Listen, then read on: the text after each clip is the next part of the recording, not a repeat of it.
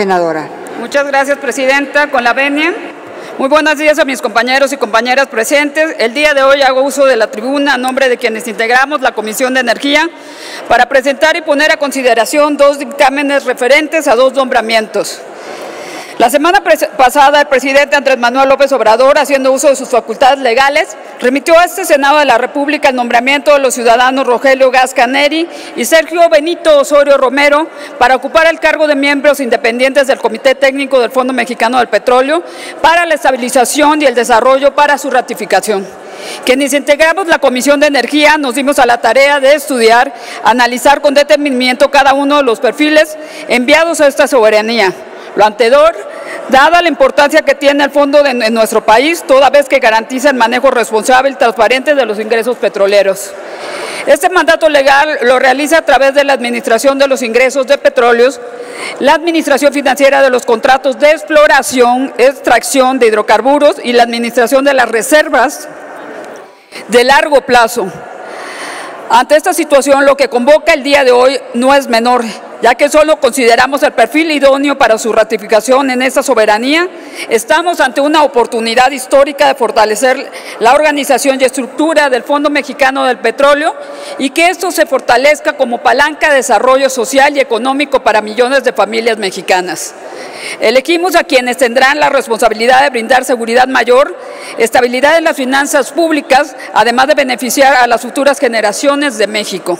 Por ello señalo que ante este pleno que el análisis al interior de la Comisión de Energía determinó que los Rogelio Gascaneri y Sergio Benito Osorio Romero son idóneos para ser ratificados y así ocupar el cargo de miembros independientes del Comité Técnico del Fondo Mexicano del Petróleo para la Estabilización y el Desarrollo.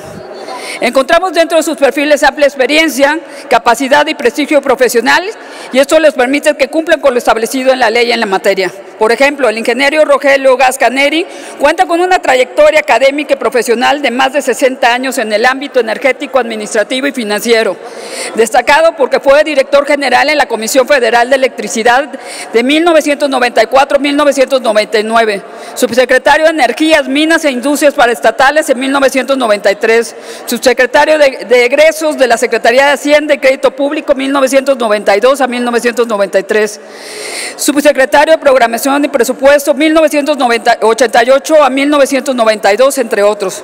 Por su parte, el maestro Sergio Benito Osorio Romero cuenta con una trayectoria académica y profesional de más de 60 años en el ámbito energético, administrativo y financiero.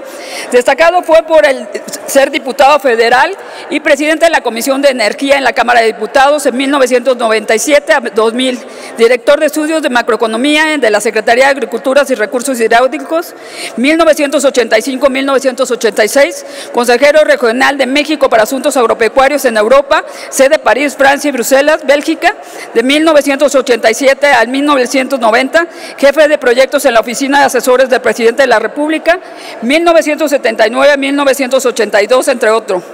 Como se dispone en el dictamen que se pone a consideración bajo este contexto, solicitamos a todos y todos los senadores presentes acompañen a estos favorables tomando en mente que México es primero.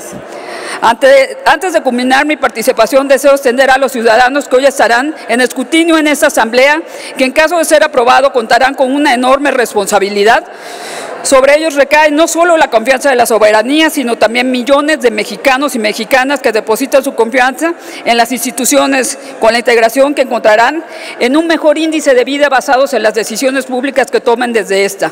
No, omito externar mi agradecimiento y reconocimiento a mis compañeros integrantes de la Comisión de Energía. Durante la reunión de trabajo en el que abordamos estos nombramientos dimos muestra que la voluntad no solo nos une como mexicanas y mexicanos para nuestro país le vaya mejor, para mí es un enorme orgullo presumir que esos dictámenes fueron aprobados por unanimidad, lo que no solo habla de la capacidad de los candidatos, hace gala del talante y de las, los senadores integrantes de la comisión.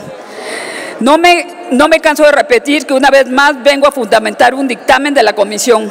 Seguimos dando una demostración contundente que los colores no importan, que las barreras ideológicas se vencen cuando se trabaja por México. Muchas gracias a todos. Muchas gracias, Rocío.